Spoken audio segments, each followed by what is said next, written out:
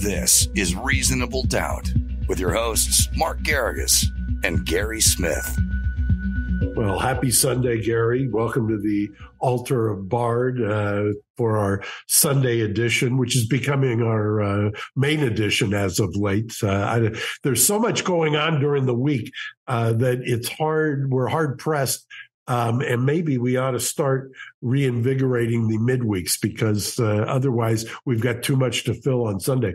I've been watching, as you know, this impeachment trial of, of, the Texas Attorney General. And boy, if you're a lawyer or you appreciate courtroom action, that what a masterclass in lawyering it is. Uh, we've got a couple of clips for that. Gary, you want to? I don't know which one I want to start with. It's like an embarrassment of riches. Maybe with the Ranger because you have that uh, handy. Where is it? It's uh, I think Cogdell, um, who's and by the way, so that I set this up, the attorney general is being impeached by actually a house that's controlled by the Republicans, and the uh, they have hired basically outside counsel. They've got Rusty Hardin and Dick DeGuerin, two of the legendary uh, uh, old dogs, and I say that uh, as an old dog of uh, Texas uh, uh, trial lawyers for the House managers. And on the defense side is an up and comer, Tony Buzbee, and Cogdell, who some of you may recognize when you see him uh, has gained a measure of fame, besides being a great lawyer, a measure of fame because there is now a series on Waco, and he had tried that case, I think, back in '93 and got acquittals, and um, that set him on the course uh, for a uh, splendid career. So, why don't we start with the Ranger? I think this is Cogdell. The witness is a Ranger. Yeah, his name Texas. is David Maxwell. And in the opening statements, they had let they had kind of teased what this was going to look like. Let's try. Let's try again. What's the answer to my question, Ranger? Which is? the Third time. Since you don't qualify your explanations and explain to us whether they are based on first person knowledge or you heard it from somebody else, how do we know what you are basing your explanations on? My explanations of what? Now, what are you referring to when you say, what did I base my explanations on? My objection was asked and answered. Actually, he hasn't answered. Overruled. By the way, for those of you no. who are watching YouTube, that uh, at counsel table there was on the left was Rusty Hardin, on the right who was speaking was Dick DeGuerin. You may recognize Dick DeGuerin, who's um, had a also a, a spectacular career. Most recently, tried the case with the uh, gentleman who was the subject of um, a murder prosecution here in LA, um, who was convicted yet died right after sentencing. Dick got him acquitted in Texas, um, and he was the uh, heir to a uh, real estate fortune. Name was uh, Durst, and Rusty has represented a who's who of Texas notables, uh, including um, Roger Clemens and was involved in the uh, the Enron case.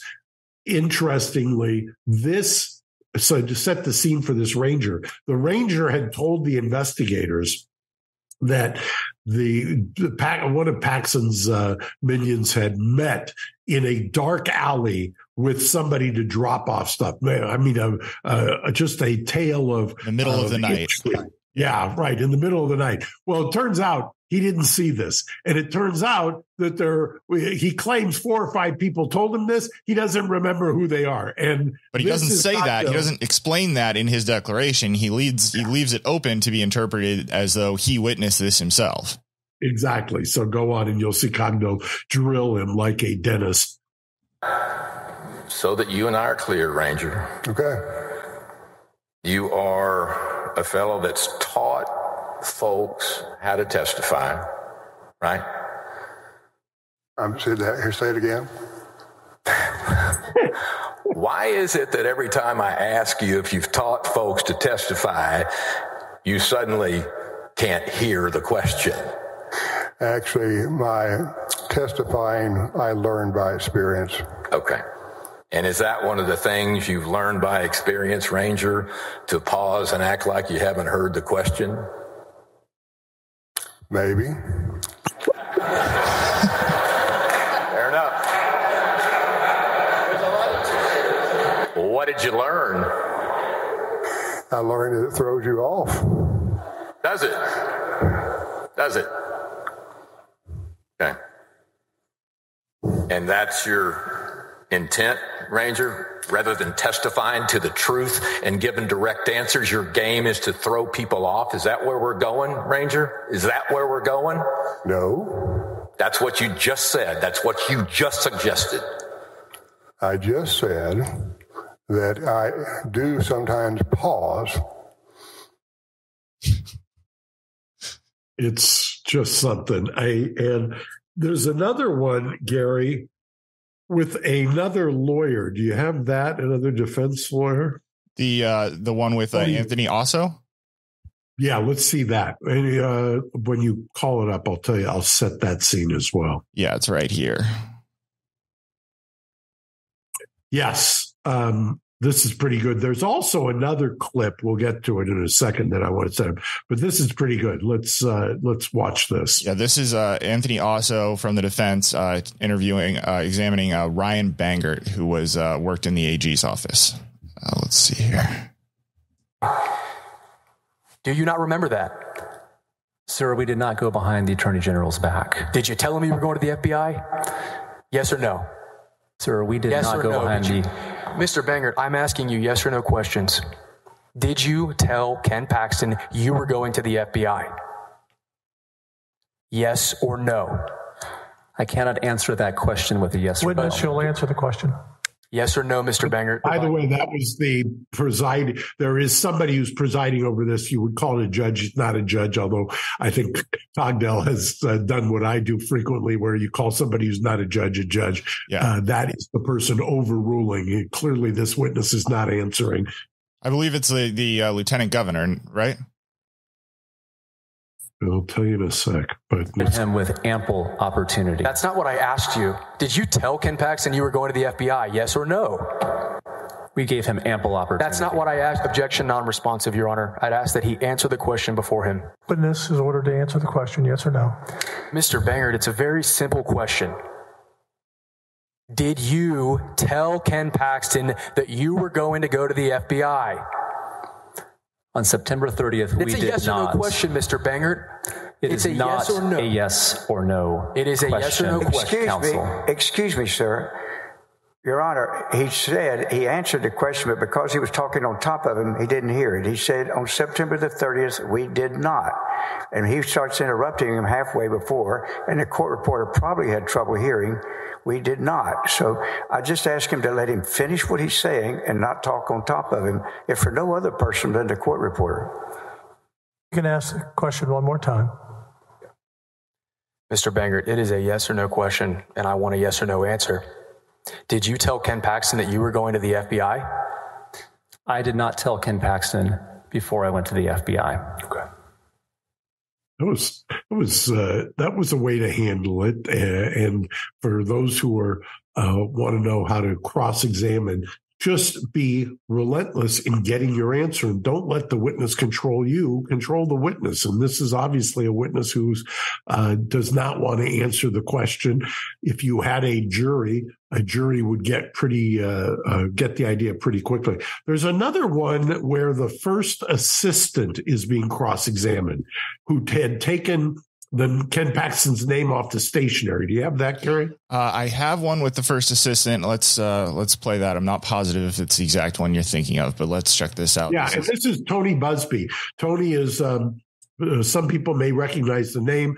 I believe he represented many of the uh, massage so-called therapists who were involved in the Houston uh, quarterback uh, who's now with Cleveland, right, Gary? Deshaun Watson. Deshaun Watson, um, and he was all over Deshaun in the civil matter, and here he is uh, cross examining the first assistant to Ken Paxton, which is also, in my opinion, a masterful cross. And this is six months. I mean, come on. Six months after you left the office, six months after you went to the FBI. This is this is after some of the some of your colleagues had filed a very public lawsuit, right? Correct. And this is even after that you had been interviewed in the press, right? I believe one time, yes. Yeah, and all kinds of things were going on in the press about these so-called whistleblowers and, and crimes and all kinds of things. And then here you are placed under oath in March of 2021 and you were asked point blank whether you believed the office of the AG was engaged, had been engaged in ongoing criminal activity in relation to Nate Paul, and you couldn't even give an answer. Could you? With regard to the office of Attorney General, correct. You're making some distinction between the office and the AG himself? Yes, sir. Okay. Because you didn't want to say that you had been engaged in criminal activity, right? I don't believe no. I mean, part of the so called criminal activity is the Mitte intervention, isn't it? And you were dead in the middle of that, weren't you? I approved the executive mem- memorandum. Isn't it ironic that the first witness called in this case for the House on the first article of impeachment that was passed, that this witness, you, approved that intervention. Isn't that ironic? I, I don't know, sir. Don't you think that really reflect kind of reflects the whole House's case that they put you up here as the witness to tell us how bad Ken Paxton was, and on the very first article, you approved it. Isn't that ironic? The, the irony, I guess, is lost on me, sir. Is it? It is you have to admit, Gary, that's a pretty good little uh, setup, if you will, because he was the first witness. He is the first assistant on the first article of impeachment. He approved it. it gets better. I mean, yeah, they, I, think that's the uh, the end of that edit. There was there were so many. That guy got caught a few different times. Uh, it was like I say, it, it was a great cross examination. Kudos to Buzbee for that. Uh, he he came prepared for bear, and he he uh, ended up uh, putting this little bear cub down. Um, now I think there was one other. Did you have one other clip, Gary? We have this? two other clips uh, that are both different. There, there's one from Cogdell and one from Buzbee, and they're from their openings. The Cogdell one is just sort of a, a 51 second clip of his opening, and then I have a compilation of Buzbee's opening as well. Yeah, why don't we why don't we do the Cogdell and then we're going to hit on a couple other subjects so you understand this has been played on C-SPAN for those of us who don't have a hobby it's uh, extremely entertaining yeah, there's a the, the, there is just so much and so much video out of this. The fact that it's all being presented and live streamed, it's just an embarrassment of riches. There's there's we could sit here for three hours. And by the way, next week in uh, in uh, fairness to Dick DeGuerin and uh, and Rusty, we'll have some clips of them as well. Yes, absolutely. Here we go. The direction he gave Mark Penley, who worked for him, was exactly the same direction he gave Brandon Cammack. Find the truth. We're going to impeach a sitting attorney general for giving the direction, find the truth. Not one person, not one piece of evidence will you hear where they say lie, where Ken Paxton told him to lie, cheat, steal, shade, do whatever it takes. I just, that didn't happen. That didn't happen. And yet here we sit with 31 of you, with 15 of us, and 15 or more of them. Here we sit. When the allegation, when the, when the allegation is it's corrupt, when the, when the truth is, he said, go find the truth for God's sakes. Just love it. I, uh, fantastic. You know, the, if that was in a courtroom, the uh, the opposing counsel would be uh, having an aneurysm uh, over that. That is transgressed into argument. But as my father used to say, the the hallmark of a good trial lawyer is you can commit error and know you're doing it at the the, the same time. And um, that was uh, passionate and uh, and it was a good theme and it had that repetition that you want and and I think probably set the tone for witness after witness so far who's been dismantled by the defense in this case. Yeah, and that was just a short clip in the opening. The, the opening lasted about an hour, and each uh, each of Cogdell and Buzbee both got about thirty minutes, and they were both very compelling, in my opinion. So we've got. So I encourage people to watch it. We'll give you an update, maybe even a midweek. There's been quite a bit else that's going on in the legal world, and uh, we want to hit some of those. Not the least of which, Danny Masterson, which, um, uh, in full disclosure, Philip Cohen, who tried that case, is a friend. I consider a, a good friend, and uh, Masterson was sentenced uh, day before yesterday, I believe to 30 years. Yeah. You know, some of you might remember the first trial ended in a hung jury. Hung tilting. jury tilting towards him on all three counts, right? He was, you right. know, it was right. as much as 10 2 in some cases and then uh, less in other other charges. Yeah, and then guess what happened? A story often told. Uh, the uh, the the court changed many of her rulings uh, before or uh, during the second trial, uh, which basically ensured a guilty verdict. Uh, and interestingly, also um, the Ashton Kutcher, you may have seen, yeah, and um, Mila Kunis and a bunch of the other different castmates all wrote letters, you know, urging leniency. Right. And then had to walk it back because they got so much grief from the cheap seats and which tells you all you need to know about the state of uh, the criminal law and criminal jurisprudence that here's somebody that you know that you've worked with and you're coming to his support and all of a sudden they're pilloried for that. And yeah. uh, I, uh, I uh, just uh, something to say. It'll be interesting to see where they get an appeal. So it's always tough because the courts the appellate courts uh, oftentimes don't want to um, uh, kind of invade or say that there was an abuse of discretion. In this case, you did, however, have a dry run under one set of rulings and then um, boy, you get a completely different result when you change those rulings, which shows you the, the role that a trial judge has in a criminal case. Sure sounds a lot like another case that uh, you might have some involvement in perhaps from back in the 90s that, uh, that rings a bell. Yes, I'll tell you, it's uh, it uh, it resonates. So, what? Um, just can I ask real fast? Uh, you know, obviously they had some time since the conviction, and I heard it reported that they've had appellate lawyers on that in the interim. So, where do you think that they stand? You know, in terms of readiness to to go forward with an appeal?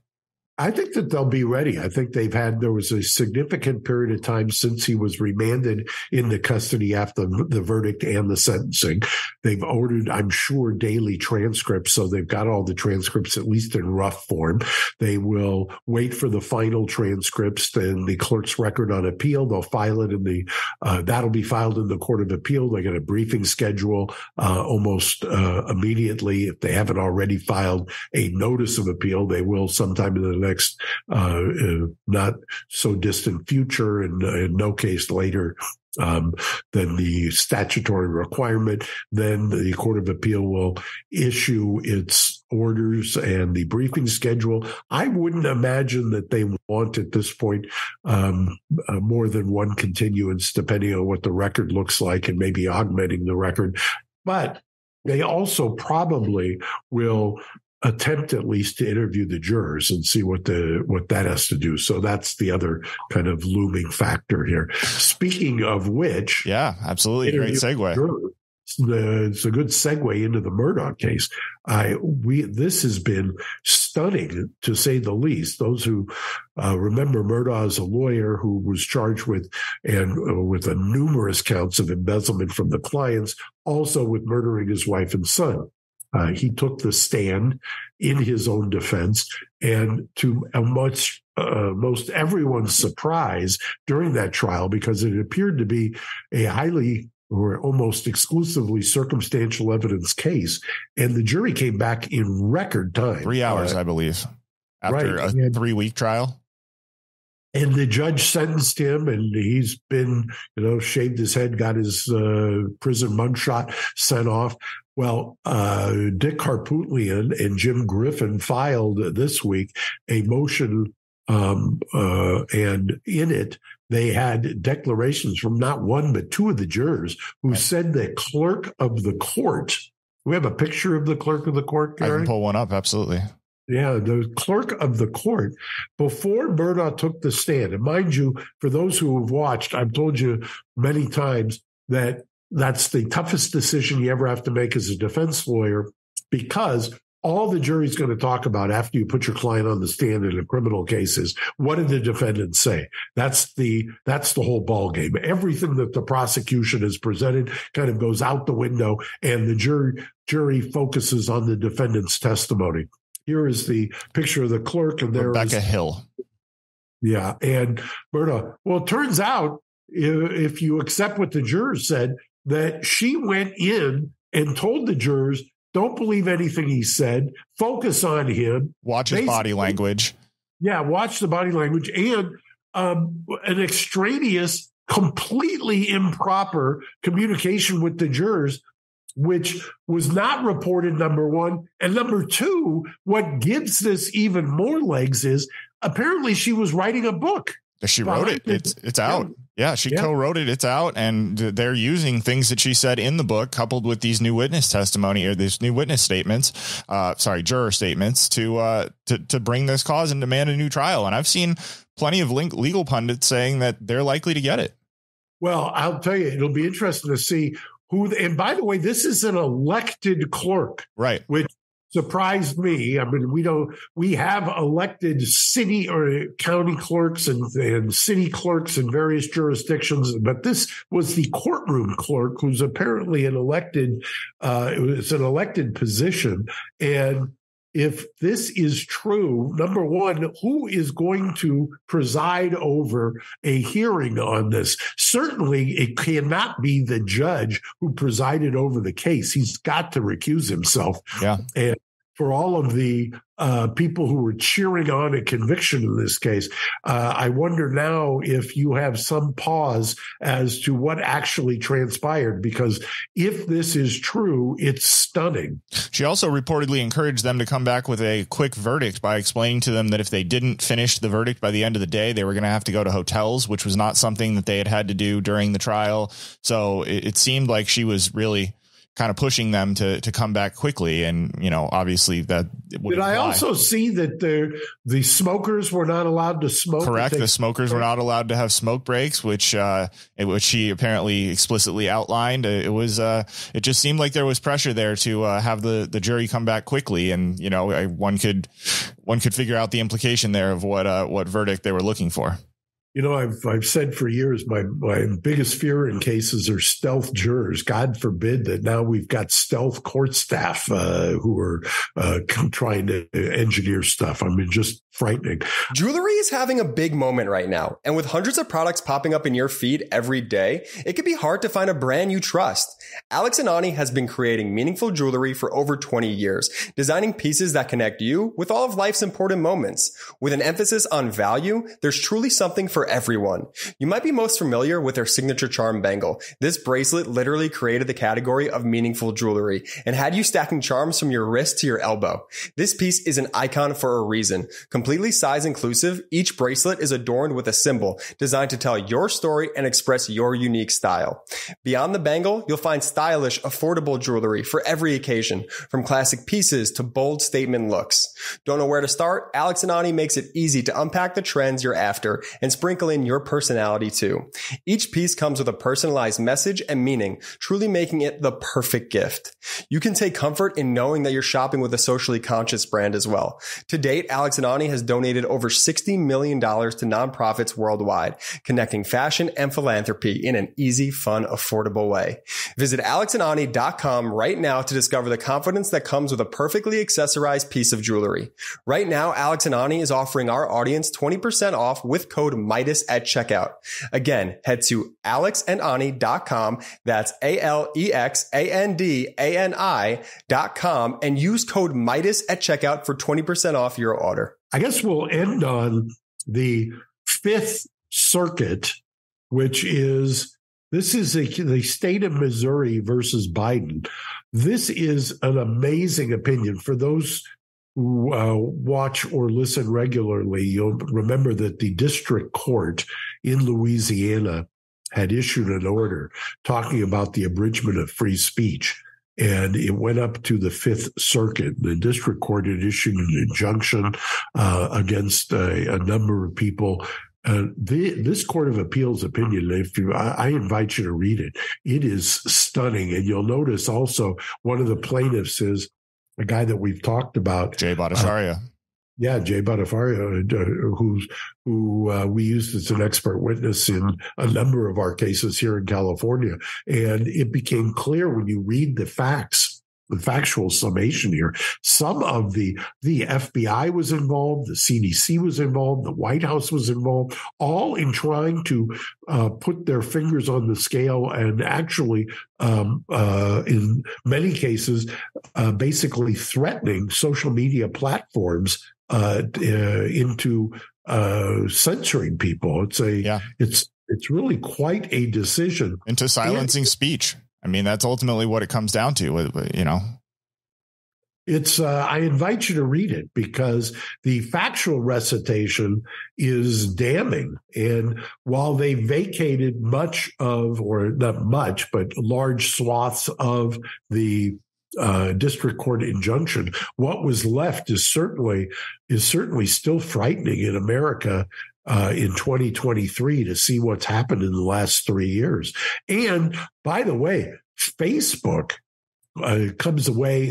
I don't know who looks worse in this, Facebook or the FBI, but uh, they're neck and neck in terms of who was uh, who was uh, worse. I mean, I, Facebook I think looks worse, but it, I would say that for me, it, the FBI comes away scarier because you know Facebook is a private corporation that I would int- I would not expect to have the best interests of citizens necessarily at heart, whereas the FBI are supposed to be public servants. Well, they were they were serving the, their public. I'll tell you I, that. Read the like I say, it's a I forget how many pages. Seventy four.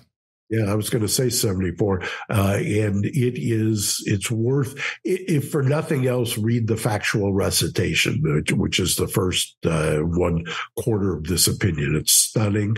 Uh, it's frightening. And uh, I, by the way, if they, if anybody thinks that taking this to, by the way, this is the intermediate court. It was at the district court federally. This is the court of appeals, the circuit court, the only um, the two angles that they have now is to ask for an en banc, the whole court to review this or go to the U.S. Supreme Court. I don't think that they're going to get relief in either place. Yeah, I agree. It's uh, certainly compelling, and as a as a citizen, it's informative. So I would encourage everyone to check it out as well.